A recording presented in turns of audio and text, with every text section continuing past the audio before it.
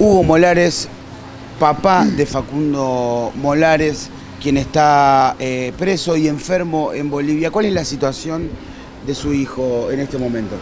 Bueno, mi hijo sigue preso en la cárcel de Chonchocoro, que es la cárcel de máxima rigurosidad que hay en Bolivia. Eh, no hay un penal más duro que ese. Y está este, enfermo porque nunca le permitieron recuperarse de sus dolencias. Eh, ha mejorado, pero por el transcurso del tiempo y porque él es, joven y es fuerte. Pero este, las condiciones de él es de aislamiento, él está en, una, en un sector de aislamiento y hasta muy poco tiempo incomunicado. ¿Cuál es la causa que se le atribuye a Facundo? Es una causa colectiva que este, armaron en contra de eh, casualmente todos eh, miembros o militantes del MAS. Estos eh, por hechos que sucedieron durante el gobierno legítimo de Evo Morales.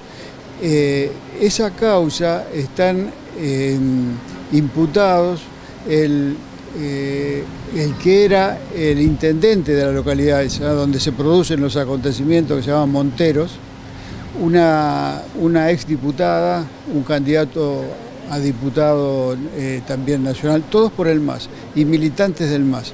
Eh, son siete, ocho, nueve, eh, más o menos. Y todos están imputados por la misma causa, una causa que tiene, es muy difusa, porque aparentemente habrían muerto dos personas en esos enfrentamientos y abrieron una causa por homicidio, incitación a la violencia y, este, instigación para delinquir. Ahora mi pregunta es, eh, Facundo, ¿qué hacía en ese lugar? Facundo había viajado a Bolivia a cubrir las elecciones de, este, del 20 de octubre. Eh, él cubre las elecciones, él trabaja como fotoreportero y escribe artículos para la revista Centenario. Esta revista le encomendó que vaya a cubrir este, las elecciones y como era visible de que había este, material periodístico como para cubrir porque había mucho, mucho murmullo, mucho eh, este, barullo, muchos este, eh, movimientos de, personas y políticos, entonces Facundo estimó de que era conveniente eh, quedarse a registrar eso. Lo consulta con el, director de la, de la revista, lo autoriza y él se queda. En esas circunstancias, cuando él después eh, em, tiene una insuficiencia renal aguda, es internado en el hospital em, japonés de Santa Cruz de la Sierra y en ese hospital este, es donde yo voy a verlo, en compañía de mi mujer. Lo puedo ver 15 minutos porque em, a la salida del hospital, en la playa de estacionamiento, eh, soy detenido junto con mi mujer, secuestrado, sin orden judicial y llevado a la comisaría de Montero. En la comisaría de Montero nos, este, bueno, nos encierran en lugares separados y nos tienen eh, sometidos a vejámenes y este, tortura psicológica durante 25 horas sin acceso a ningún tipo de servicio ante mi requerimiento de, que se me permita comunicarme con un abogado o con el cónsul argentino, eh, solo recibí amenazas y, este, improperios. Nos, soltaron recién, esto, nos detienen el día 12 de la noche, nos, nos eh, liberan el 13 a la madrugada y bajo amenaza de muerte nos expulsan de Bolivia la policía y tomamos un avión a las 2 de la mañana de regreso a la Argentina. O sea que pudimos estar nada más que 15 minutos con mi hijo, que ya estaba en coma inducido, con respirador artificial y con sondas.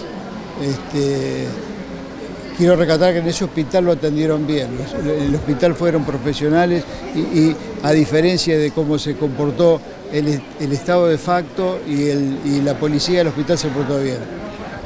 Mi consulta ahora es cómo sigue este proceso, cómo sigue esta causa, cuál es la situación actual de Facundo en este momento y si bueno, va a haber alguna solución o alguna respuesta. Mirá, nuestra actividad está basada en tres puntos. Uno es la pata popular, que es el apoyo de todos los compañeros, de todos los organismos, de todas las agrupaciones populares que han tomado como bandera la liberación de Facundo, que está preso injustamente en Bolivia. La otra pata es la diplomática, que está un poco, un poco entre paréntesis porque el gobierno argentino no reconoce al gobierno de facto de Bolivia.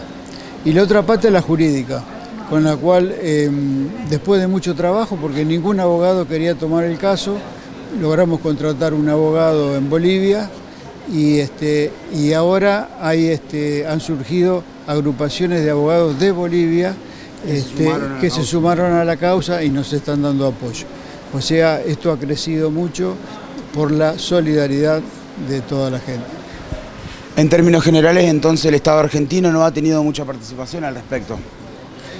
a nivel consular quiero rescatar la labor, en especial la labor del cónsul de Santa Cruz, Roberto Dupuy, que se ha comportado muy bien, eh, más allá de su, de su obligación profesional, este, ha brindado todo lo, posible para ayudar y colaborar. La cónsul de La Paz está haciendo lo que puede y, este, y hasta ahí llega, porque no, no se expresa la Cancillería por esta falta de reconocimiento del gobierno boliviano.